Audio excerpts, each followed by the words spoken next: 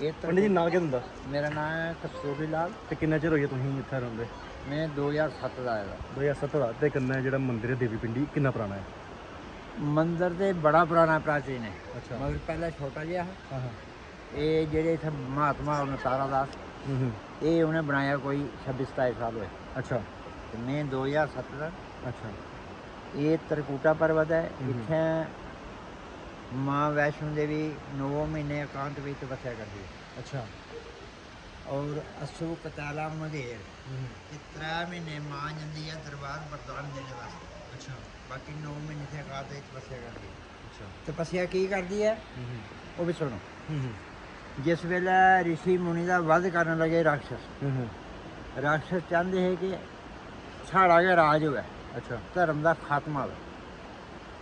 तो नारद जी गए विष्णु भगवान को नारद जी ने विष्णु भगवान की पूरी दास्तान सुनाई मैं कर सुना तीन ढाई हजार सभा है तो विष्णु भगवान ने आदेश देता नारद जी कि भाई जा माँ लक्ष्मी माँ सरस्वती माँ काली इन्हें की जगाओ और इन्हें बोलो कि अपनी अपनी शक्तियाँ जड़ियाँ वैष्णो देवी की दे दो अच्छा और मेरे को भेजो नारद जी गए माँ लक्ष्मी माँ काली माँ सरस्वती की जगाया और उन्हें हुक्म सुनाया भाई विष्णु भगवान ने ऐसे ऐसे बोले इन्हें अपनिया अपनिया शक्तियां जड़ियां सारिया वैष्णो देवी सौंपी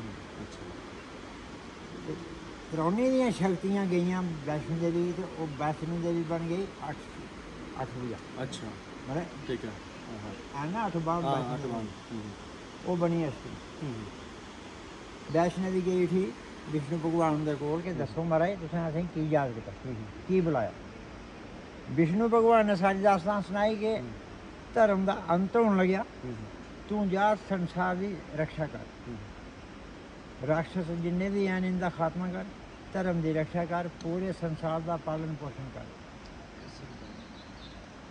ਤੂੰ ਜਾ ਤ੍ਰਿਕੂਟਾ ਪਰਬਤ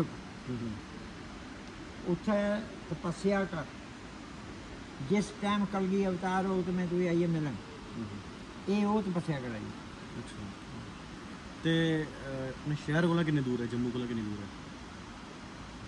ਜੰਮੂ ਪੈਂਥ ਨਹੀਂ 65 ਕਿਲੋਮੀਟਰ। 65 ਕਿਲੋਮੀਟਰ ਹੈ। ਤੇ ਜਿੱਥੇ ਲੋਕੀਆਂ ਪੈਂਥਲ ਦਾ ਇੱਥੇ ਹੈ 5.5 ਕਿਲੋਮੀਟਰ। ਅੱਛਾ ਜਿਹੜਾ ਪੈਦਲ ਰਸਤਾ ਆਉਂਦੇ ਆ ਪੈਦਲ ਹੈ ਨਹੀਂ ਪੈਦਲ 5.5 ਕਿਲੋਮੀਟਰ। ਸਾਢੇ ਪੰਜ।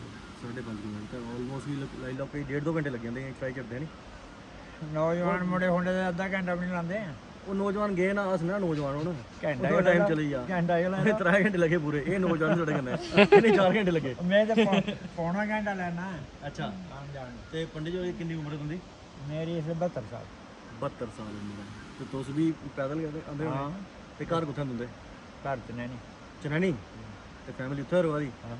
ਤਾਂ ਤੁਸੀਂ ਰੋਜ਼ ਅਪ ਡਾਊਨ ਕਰਦੇ ਆ ਫਿਰ ਹਫ਼ਤੇ ਜਾਂਦੇ ਨਾ। ਹਾਂ ਹਾਂ। ਦੋ ਢਾਈ ਮਹੀਨੇ ਬਾਅਦ ਛੁੱਟੀ ਜਾਂਦੇ ਆ। ਦੋ ਢਾਈ ਮਹੀਨੇ ਬਾਅਦ। ਚਲੋ ਪੰਡਿਤ ਜੀ ਸ਼ੁਕਰੀਆ। ਜੈ ਮਾਤਾ ਦੀ।